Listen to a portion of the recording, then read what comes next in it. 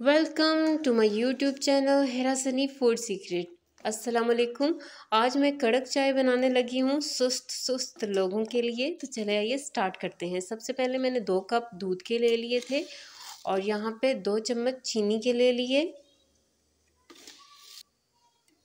इलायची और एक टीस्पून पत्ती डाल दी और ये देखिए बॉयल आ चुका है और ये कड़क चाय हमारी बिल्कुल तैयार है एकदम से।